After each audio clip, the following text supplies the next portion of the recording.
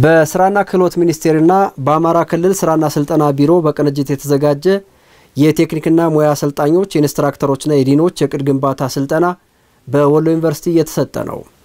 እየተሰጠ ባለው ስልጠና ከ34 ኮሌጆች የተውጣጡ ከ1500 በላይ የሚሆኑ ሰልጣኞች እየተሳተፉ የሚገኝ ሲሆን ስልጠናው ከነሐሴ 22 እስከ ጳጉሜ 2 ድረስ ቆይታ እንደሚኖረው ተገልጿል። መሀሌት ተፈራ ተጨማሪ ዘገባ አላት። በኢፌዴሪ ስራና ክህሎት ሚኒስቴርና በአማራ ክልል ስራና ስልጠና ቢሮ በቅንጅት የተዘጋጀ የቴክኒክና ሙያ አሰልጣኞች የኢንስትራክተሮችና የዲኖች የእቅድ ግንባታ ስልጠና በወሎ ዩኒቨርሲቲ እየተሰጠ ነው። አሚኮ ያነጋገራቸው ተሳታፊ የቴክኒክና ሙያ ዲኖችም ስልጠናው የአሰልጣኞችንና የመሪዎችን አቅም ለማሳደግ ፋይዳው የጎላ እንደሚሆን ሀሳባቸውን አጋርተውናል። እንደሚታወቀው የቴክኒክና ሙያ ተቋማት በርካታ ሰዎችን የሚያፈራ ተቋም ነውና ብዙ ሰዎች ላይ ነው ትኩረት አድርገን የምንሰራውና የምንመራበትን ፖሊሲ የምንሰራቸውን ስራዎች ግንዛቤ ወስዶ ለሰልጣኞች በሚገባ ማድረስና ለስልጠናው ጥራት የበኩላችን አስተዋጽኦ ማድረግ ስለሚጠበቅብን በዚህ ደረጃ እንግዲህ በቂ የሆነ እውቀት፣ ክህሎት ይዘን እንወጣለን ብዬ አስባለሁኝ። በአጠቃላይ ለቴክኒክና ሙያ ማህበረሰብ ከ11 እስከ 12 ቀን ባለ የስልጠና ጊዜ የሚሰጥ ስልጠና ነው። ስልጠናው purely ሙያዊ ነው።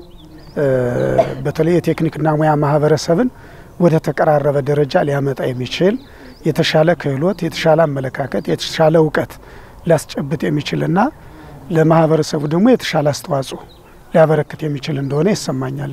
የአማራ ክልል ስራና ስልጠና ቢሮ የኢንዱስትሪ ኤክስቴንሽንና የቴክኖሎጂ ሽግግር ዳይሬክተር ሀብታሙ ይታየው ስልጠናው ከዘመኑ ጋር የሚሄድ የክህሎት አቅማቸውን ለማሳደግ ያለመ ስልጠና በመሆኑ ለሰልጣኞች ትልቅ አቅም እንደሚሆናቸው ገልጸዋል። በዘርፉ ላይ እንግዲህ በዋናነት የትልቁ አቅም የሰው ኃይሉ የክህሎት አቅም አንድ ትልቅ ችግር ያለው ማለት ነውና የበቃ የሰው ኃይል መፍጠር ነው ዋና ዓላማና እዚህ ላይ በተለይ የሰው ኃይል ላይ ካልተሰራ አጠቃላይ በቀጣይም የምናሰለጥነው የበቃ ዜጋን በመፍጠር በኩል የራሱ የሆነ ችግር አለው፣ ተግዳሮት አለውና በዋናነት ተይዞ ያለው የሰው ኃይሉ ልማት ላይ መስራት ነውና አንዱ ተግዳሮት እሱ ነው።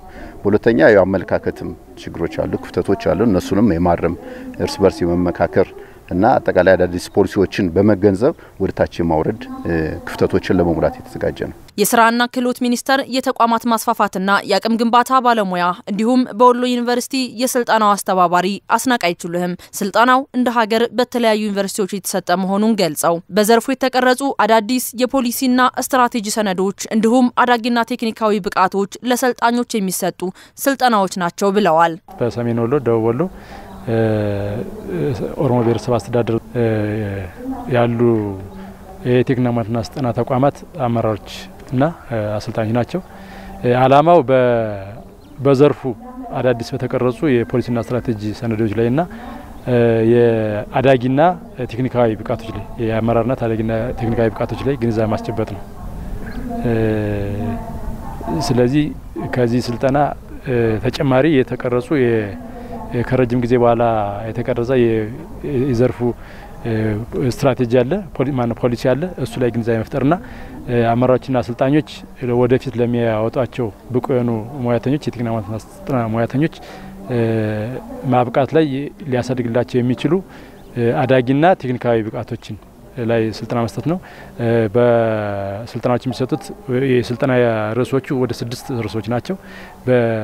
ከክብርት ሚኒስትር የስራና ክህሎት ሚኒስትር ወይዘሮ ሙፈሪያት ካሚል ጀምሮ እስከ ከፍተኛ ባለሙያዎች ድረስ የሚሰጥ ስልጠና ነው። የደሴ ከተማ ተቀዳሚ ምክትል ከንቲባ ሳሙኤል ሞላልኝ ለሰልጣኞች እንኳን ደህና መጣችሁ ያሉ ሲሆን በስልጠናው ከምስራቅ አማራ ከተለያዩ አካባቢዎች ከ34 ኮሌጆች የተውጣጡ ከ1500 በላይ የሚሆኑ ሰልጣኞች እየተሳተፉ ይገኛሉ። ስልጠናው ከነሐሴ 22 እስከ ጳጉሜ 3 ድረስ እንደሚቆይም ተገልጿል።